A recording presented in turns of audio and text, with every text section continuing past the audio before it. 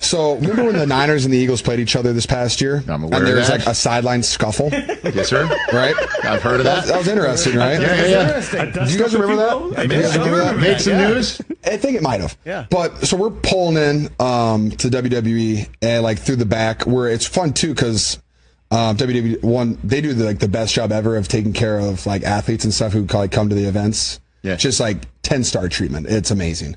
And um, we're pulling in the car like we're like the like where you get dropped off for a game where the buses are. And I see uh, the Eagles head of security. Dom. Big Yeah, Dom. Dom. Big Big Dom. Dom, standing right there WWE. in front of one of the Like what? buses. Yeah. And we pull right past him, and I've never met him. I've never talked to him. The only I've ever heard, like, you see, like, whatever happened on that.